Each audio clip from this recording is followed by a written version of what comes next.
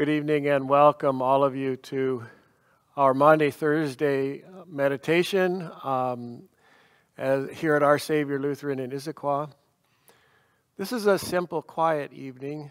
It's an opportunity for us to enter into the three days and remember those last days of the life on this earth of Jesus um, and the one who is raised on Easter, and to contemplate how that life ended.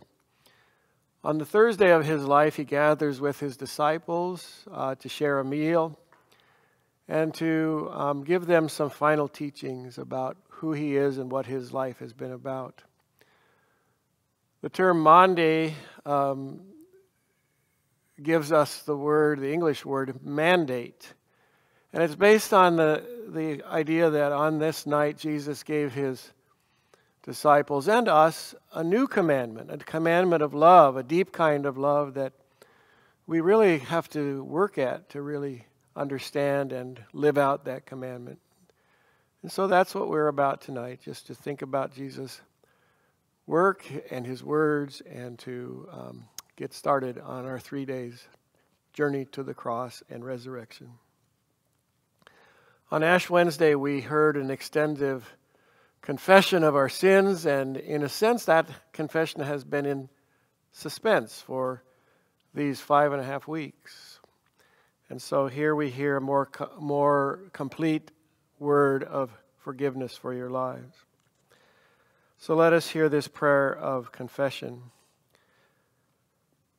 Dear friends in Christ, in this Lenten season, we have heard our Lord's call to struggle against sin, death, and the devil all that makes us, all that keeps us from loving God and each other. This is the struggle to which we were called in baptism. Yet within the community of the church, God never wearies of forgiving sin and giving the peace of reconciliation.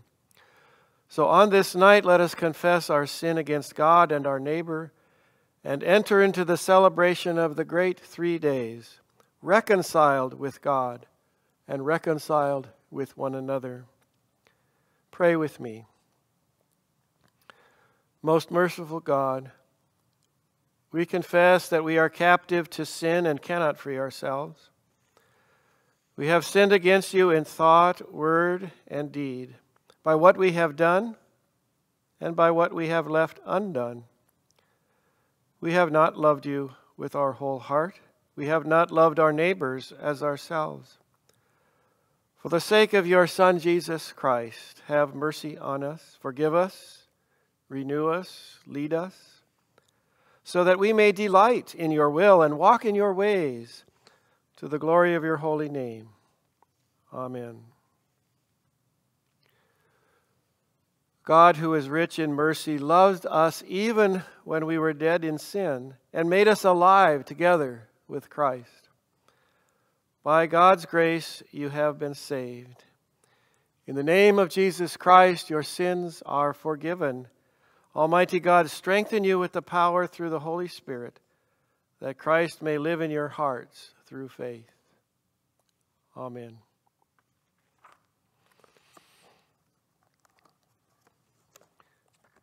And now we hear these words of Jesus to his disciples at that last meal. This is John chapter 13.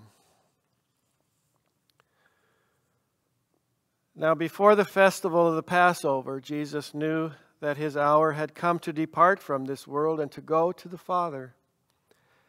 Having loved his own who were in the world, he loved them to the end. The devil had put into the heart of Judas, the son of Simon Iscariot, to betray him.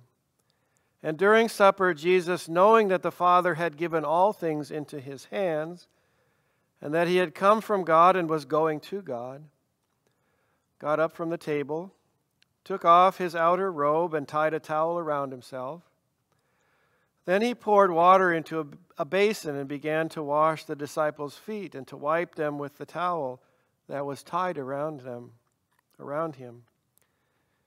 He came to Simon Peter and said to him, and Simon said, Lord, are you going to wash my feet?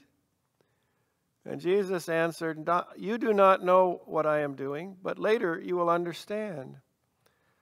And Peter said to him, You will never wash my feet. Jesus answered, Unless I wash you, you have no share with me. And Simon Peter said to him, Lord, not my feet only, but also my hands and my head. And Jesus said to him, One who has bathed does not need to wash except for the feet, but it is entirely clean. And you are clean, though all, not all of you, for he knew who was to betray him. And for this reason he said, Not all of you are clean. After he had washed their feet, put on his robe, and had returned to the table, he said to them, Do you know what I have done to you? You call me teacher and Lord, and you are right, for that is what I am. So if I, your Lord and teacher, have washed your feet, you also ought to wash one another's feet. For I have set you as, an, as I have set you an example that you also should do as I have done to you. Very truly I tell you, servants are no greater than their master, nor are masters greater than the one who sent them. If you know these things, you are blessed if you do them. Now the Son of Man has been glorified, and God has been glorified in him. If God has been glorified in him, God will also glorify him in himself, and will glorify him at once. Little children, I am with you only a little longer. You will look for me. And as I said to the Jews, so I say to you Where I am going, you cannot come. I give you a new commandment that you love one another. Just as I have loved you, you also should love one another. By this, everyone will know that you are my disciples if you have love for one another. The Gospel of the Lord.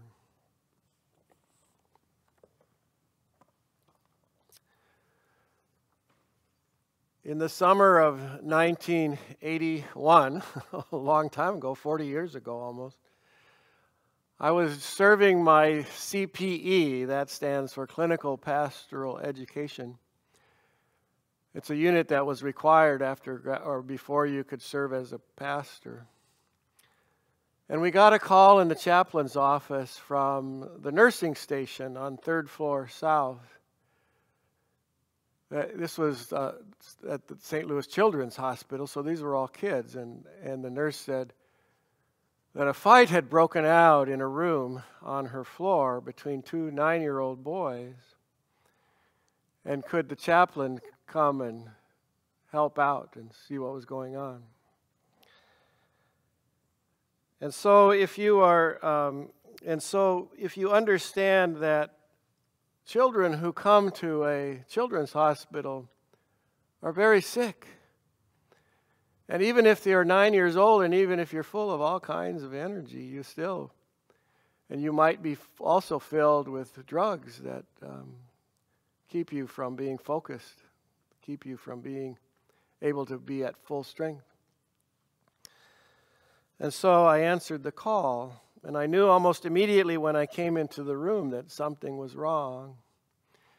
It was a large room, the kind of room that usually had at least four beds, maybe even six, but there were only two beds, uh, two boys on far opposite walls from each other. And the room was filled, all the floor was a mess. It had, it had stuffed animals and it had um, toys, it had books, it had a couple of um, containers of Kleenex. I think those boys had grabbed everything they could reach and tried to throw it at each other, but in their state, I think most of it fell short. Most of it did no, didn't get past the middle of the room. They were doing the best they could to get into a fight, and it had been a valiant effort. I realized almost immediately that this was a situation that was suited more for maybe a very good babysitter or um, a fourth grade teacher of some kind. It really they didn't really need a spiritual guide in that room at that time, but I brought what I had. I pushed a few stuffed animals to the side and pulled a chair from the side of the door and sat down in the middle of the room and I said, What's going on? And for the next 45 minutes or so, back and forth, I heard in no, nobody really taking their own turns, just kind of at first shouting down each other, and then as I refereed, sort of getting the story out, what was going on. And then we just sat there and talked. Benji, uh, one of the boys, was um, in a cast hard plaster cast from his chest all the way down to his toes sticking out. There was a about a two foot rod that had been plastered in between his knees to keep his knee to keep his hips in place, I think. Benji was from a tough part of St. Louis, and he, for a nine year old, he was pretty tough all by himself.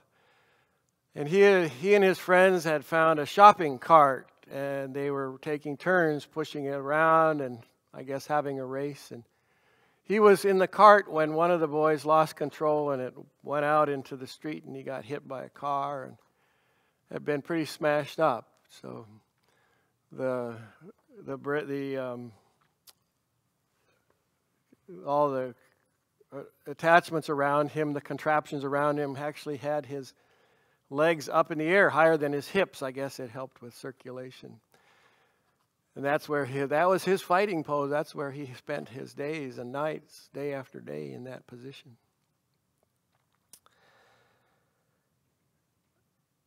Benji was a friendly, gregarious young man. He was uh, more than happy to tell me about uh, all that had happened to him, all, all the bones, all the crunching he felt, all the twistedness in his body. I had heard enough after a couple of sentences, but I still listed, listened. I thought it would build some trust and open him up.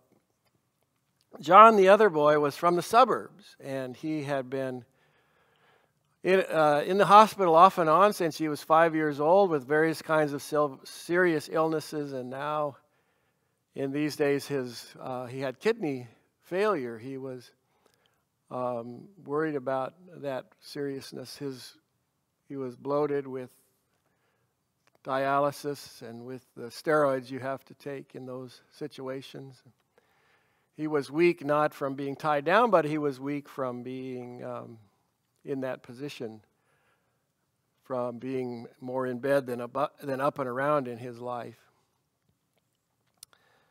Because of the life that John lived, combined with his uh, natural personality, he was more quiet, more moody, more prone to selfishness, and less likely to be persuaded to some kind of compromise. He was not immediately as likable as Benji, and but you couldn't help to love him for the courage that he had used in those years to stay alive, to keep going. I can't remember 40 years later uh, what it was they were fighting about, and I don't really think it matters what they were fighting about. The chances are it was the same kind of thing that nine year old boys always get into skirmishes about. He's looking at me funny, I think one of them said, and the other said he said something that made me mad, so I so I threw something at him. Whatever it was, it didn't really matter. Given their situation in life, it's not like they were really going to hurt each other. And Rather than being a cause for alarm or intervention, their argument was actually a good sign. It was a sign of life, it was a sign of caring, it was a sign of hope. They cared enough to fight for life. It was, of course, the brokenness of their lives. The fact that they were, they were broken and away from their family, away from their friends, away from their communities. It was the brokenness that had brought them into this room together. In the first place, they never would have otherwise crossed paths, they would have never known each other in this world. But it was also the brokenness that in their lives that kept them from hurting each other, that kept them from going after each other and finally finally getting the revenge or whatever it was that they wanted, they had to they had to work it out because their lives were broken. It was the brokenness in the lives of the disciples of Jesus, those who were there on that night, but also those who follow the disciples of today, our own brokenness that forces us out of our personal lives, out of our families, out of our communities, out of daily life, and brings us together um, in this evening, whether it's by the video or whether it's those years when we can gather together. We come out of the lives and we are rubbing shoulders with people who we would otherwise have no cause to be in a relationship with. It's our brokenness that's brought us to this place. But it's also our brokenness, the brokenness of the disciples, that forces Jesus to give them a commandment to stop fighting, to set aside their differences, to love one another, to care for one another deeply, and to let that be the most important thing between them. It is perhaps both uh, the saddest commentary there is on how far God's people, that how far God's intentions for creation has fallen, that such a commandment is necessary, but it's also the greatest hope for healing that Jesus says to his closest friends, I give you this commandment that you love one another, that this is the most important way to live, that this is the thing that is on your front on the front of your mind most often. Just as I have loved you, you should love one another. You would think it would go without saying, but there it is. And we are convicted and we are confined by the power of this commandment. Love as Jesus loved. There's no other way around it. So every day for uh, the next month, I would stop by the room and talk to Benji and John, and I spent a couple of minutes with them. Eventually, Benji was transferred to a rehabilitation center where he could continue his convalescence, and I assume now at, well, but put him about 49, close to 50 years old. He's been leading a normal life, worried about the things that 49 year olds worry about. But John, before I left the hospital, John passed away from his illness, and um, and that was that was hard um, because of that relationship between the two. So sometimes they were they would argue from time to time, but almost every day there was some laughter coming out of that room, and I would stop by and they'd be playing a board game together and telling stories about their lives, about the worlds they came from. Never again did they try to go after each other the way they did that first day. And I'm not sure they ever really came to like each other. Their worlds were so different and their situations were so different, but but there were many times, as I said, that they found a way to connect. Neither one of them realized, but I believe that they met the Christ of the cross in that room over those months. The Christ whose love extended to giving up his life on this, uh, in this gruesome way on the cross. The Christ who commands his disciples to love one another whether they want to or not. And because of because they found this love um, between themselves and this way of life in the world, in spite of their differences, neither one of them would ever be the same. Because I knew Benji, I was changed. Because John knew Benji, I was changed. And because Benji knew John, he was changed, never the same. And that's the power of this commandment. Amen. We continue now with some brief prayers. Conclude with these prayers. On this night, we have heard the Lord's command to love one another as He loved us. We have received God's love in Jesus Christ and are called to love one another, to be servants to each other as Jesus became our servant. Our commitment to this loving service is signified by Christ in the washing of feet and it is, the, and it is strengthened as we receive the meal of life. Let us pray. Lord Jesus, in a wonderful sacra- sacrament, you strengthen us with the saving power of your suffering and death and resurrection. May the presence of your risen body so work in us that the fruits of your redemption will show forth in the way that we live. For you live and reign with the Father and the Holy Spirit, now and forever. Amen. Our Father in heaven, hallowed be your name. Your kingdom come, your will be done on earth as it is in heaven. Give us today our daily, your, our daily bread. And forgive us our sins as we forgive those who sin against us. Save us from the time of trial. Deliver us from evil.